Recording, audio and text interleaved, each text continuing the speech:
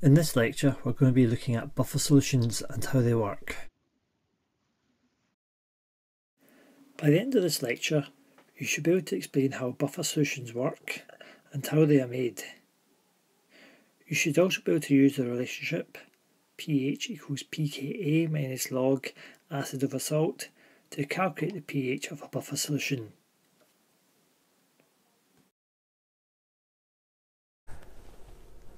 Buffer solutions are very important in chemistry labs and also in the environment. So what are buffer solutions? Buffer solution, a buffer solution is one in which the pH remains approximately constant when small amounts of acid or base are added. For example, seawater is a buffered solution and it's slightly alkaline. And despite the fact that we've been dissolving lots of carbon dioxide into seawater over the last 50 years, as a result of uh, the combustion of fossil fuels increasing the amount of CO2 in the atmosphere. And CO2 dissolves in water to give you an acidic solution. The pH of seawater has not changed much because it's a constant, it's a buffered system, and it would be disastrous if there was a big decrease in the pH of seawater. Uh, lots of systems within your body are also buffered. For example, blood is a buffered solution and this is important because all the enzymes in our body are very uh, particular about what pH they'll work effectively at and uh, the fact that the blood is a buffered system means it can cope with a small amount of acid or base impurities coming into contact with the system without allowing the pH to change and so the enzymes can still continue to work effectively. I do draw your attention to the fact that and says small amounts of acid or bases are added, it can't cope with an infinite amount of acid or base being added. So how do buffer systems work? Well, we'll look first of all at how an acidic buffer system works and then an alkaline buffer system. Right, to make an acid buffer, what you need is a solution of a weak acid and one of its salts. So let's give you an example. So we'll choose our favourite weak acid, uh, ethanoic acid. So it partially dissociates, give H plus ions and and the ethanoate ion. Now, if we add a small amount of an, a base to the system, the base will react with the H plus ions and remove them. Now, the ethanoic acid can replace those H plus ions because we've got a huge amount of the ethanoic acid molecules. Remember, very few of them actually dissociate. So if we remove some H plus ions, we can replace them by allowing more of the ethanoic acid molecules to dissociate. However, the system as it stands cannot cope with us adding more H plus ions. Okay. You could think that some of the ethanoate ions could react with H plus ions to remove them, but we've got so few of these in the system that uh, it wouldn't cope with much impurities. So that's where the salt comes in. So the salt of the acid, this is sodium ethanoate, fully dissociates because it's soluble in water, gives sodium ions and ethanoate ions. So we've got this large reservoir of ethanoate ions produced by the salt. So now, if we add excess acid to the system, the acid can be removed by the ethanoate ions provided by the salt, combining with H plus ions to produce more ethanoic acid molecules. So this buffer system can now cope with having more acid or more base added to it. So the important thing to remember is in this system we've got loads of the ethanoic acid molecules and we've got loads of the ethanoate ions produced from the salt. We have hardly any of these ethanoate ions produced by the molecule dissociation dissociating. So if hydrogen ions are removed by addition of base, the weak acid dissociates to provide more hydronium ions or H plus ions. Or if more hydrogen ions are added, then the conjugate base provided by the salt can remove them. So the ethanoate ion combines with H plus ions to reduce ethanoic acid and water. So you will be expected to be able to explain this in detail, so make sure you are very clear of how this works. And if you're given the explanation, it's essential that you stress that the ethanoate ions that are removing the excess hydronium ions are provided by the salt. You don't necessarily need to use the word conjugate base, but you need to make it make clear that the ethanoate ions are provided by the salt. So that's how you make up an acidic buffer solution. Very same uh, similar idea if you want to make up a basic buffer system. Use a weak base and one of its salts. So for example, ammonia is our favourite weak base and one of its salts, say ammonium chloride. This partially dissociates, this completely ionises in water.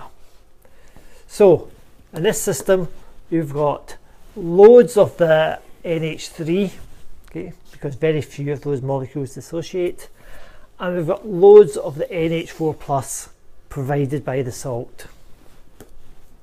So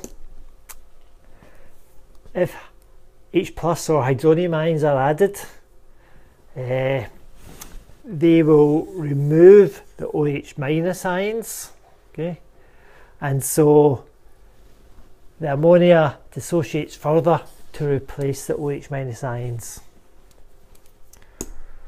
Whereas if OH minus ions are added, we want them to combine with NH4 plus ions to turn into ammonia plus water, but we haven't got many of these ammonium ions here.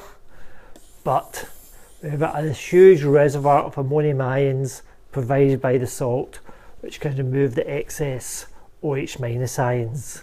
So they're very clever systems and they allow the systems to be buffered and we can keep them quite constant pH. Right, here's an example of a very common exam question. It says, which of the following would not be suitable as a buffer solution? So A, boric acid and sodium borate, B, nitric acid and sodium nitrate, C, benzoic acid and sodium benzoate, D propanoic acid and sodium propanoate. Well, boric acid is a weak acid. How do I know that? You'll find it in your data booklet. So you'll find boric acid listed here. And we've got the sodium salt. So that would be suitable. So that's not the correct answer nitric acid and sodium nitrate. Well, nitric acid is not a weak acid, so that wouldn't be suitable. And the other two would be weak acid and its salt, propanoic acid, weak acid and its salt. So the answer would be B.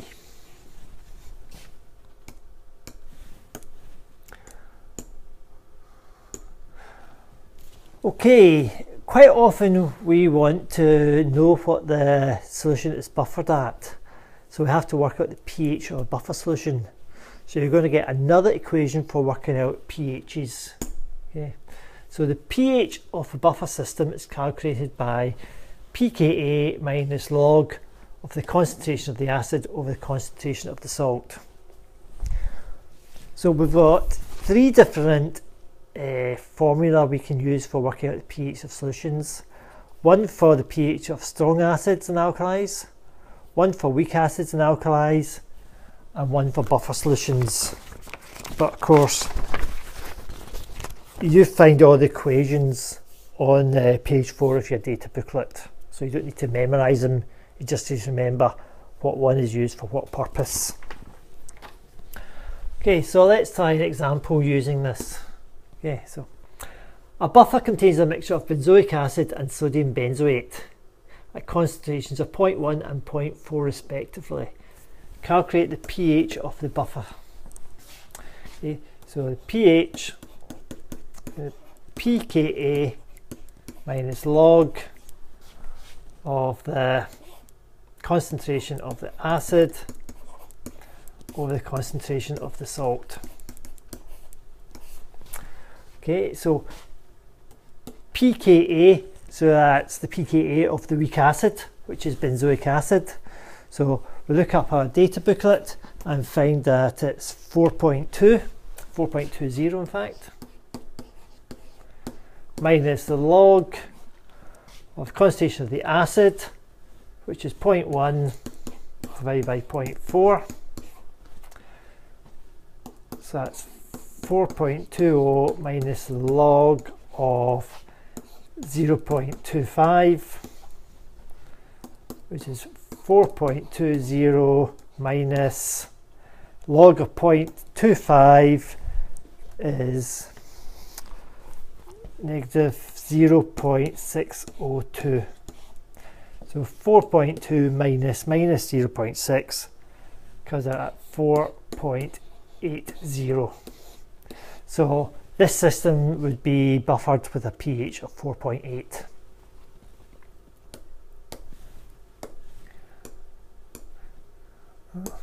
So here's another one for you to try. A buffer contains a mixture of ethanoic acid and sodium ethanoate at concentrations of 0.1 and 0.1 mole per litre respectively. Calculate the pH of the buffer. Okay, so I suggest you stop the lecture, try that, and then I'll quickly run through the answer.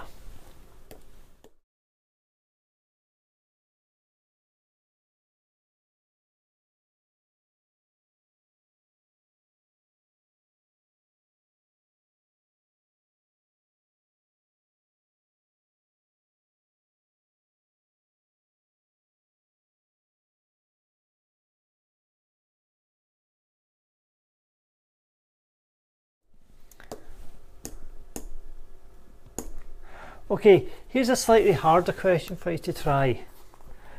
A buffer solution is made by dissolving 2.76 grams of methanoic acid, HCOOH, and 5.44 grams of sodium ethanoate, HCOONA, in water. Calculate the pH of the buffer solution. Okay, just a couple of points to set you in the right direction before I leave you to do it yourself. So you know the mass of methanoic acid? And you've got its chemical formula. So you work out how many moles of methanoic acid you've got and similarly you work out how many moles of sodium methanoate. now you can't actually work out the concentration of either of the solutions because you're not told what volume it's dissolved in. But since in the equation you dissolve the concentration of the acid by the concentration of the salt uh, the actual concentration isn't actually that important because they'll be in the same ratio as the number of moles of one to the other because they're both in the same volume. You know they're both dissolved in say a litre of water. So you'd be dissolving both you'd be dividing both numbers by one or whatever so that actually would cancel out. So you can actually just do it as a mole ratio. Uh, you don't actually need to do it as a concentration. So I'll leave you to try that yourself now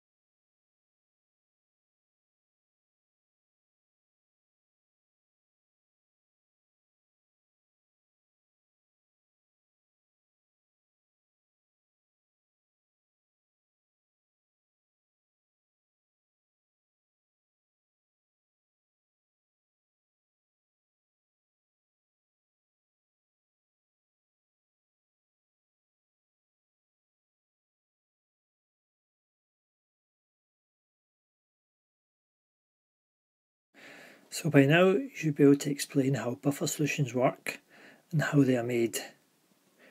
You should also be able to use the relationship pH equals pKa minus log acid over salt to calculate the pH of buffer solutions.